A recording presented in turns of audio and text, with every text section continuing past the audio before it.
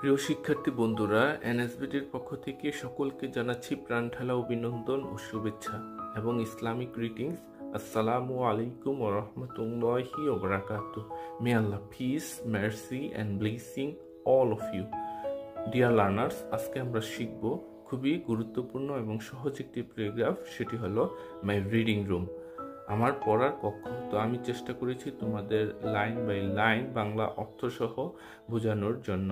তো তোমরা অবশ্যই পরীক্ষার খাতায় তোমরা প্যারাগ্রাফ আকারে লিখবে। আমি এখানে তোমাদের বোঝার সুবিধার্থেই নাম্বারিং করেছি যাতে করে তোমরা চাইলে অন্য কোনো লাইন বা ইনক্লুড করে এটাকে আরও বর্ধিত করতে পারো। তো চলো বন্ধুরা, আমরা ক্লাসটি শুরু করি। আর reading room is a place for study পড়ার ঘর হলো পড়াশোনার স্থান। It is and appropriate place for studying এটি পড়াশোনা করার জন্য একটি উপযুক্ত স্থান। Every student must have a separate reading room প্রত্যেক ছাত্র বা ছাত্রীর জন্য একটি পৃথক পড়ার ঘর থাকতে হয়। I have also a separate reading room of my own আমারও নিজস্ব একটি পৃথক পড়ার কক্ষ রয়েছে। It is at the corner of my house এটি আমার ঘরের কোনায় অবস্থিত। ইট ফেস দ্য সাউথ এটি দক্ষিণমুখী। It is ten feet long and six feet wide এটি দশ ফুট লম্বা ও ছয় ফুট চওড়া। It has two doors and two windows এটির দুটি দরজা ও দুটি জানালা আছে। There are a fan and a tube light in it there are a fan and a tube light in it এর ভিতর একটি ফ্যান ও টিউবলাইট আছে। Sunlight comes easily into my reading room সূর্যের আলো খুব সহজে আমার পড়ার ঘরে আসতে পারে।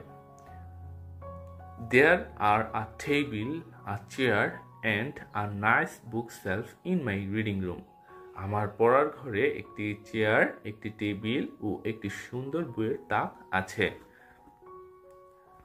There is a table clock on my table টেবিলের উপর একটি টেবিল ঘড়ি আছে।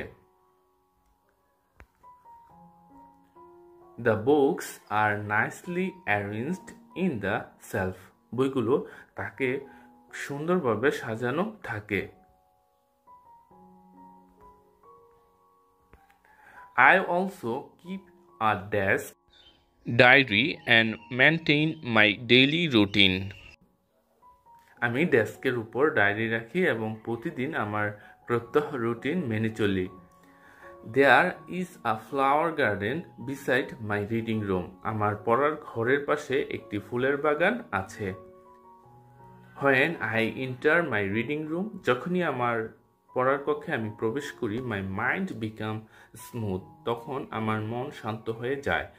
I can easily concentrate on my studies আমি সহজেই পড়াশোনায় মনোযোগ দিতে পারি। I always keep my reading room neat and clean আমি আমার পড়ার ঘরটি পরিষ্কার পরিচ্ছন্ন রাখি।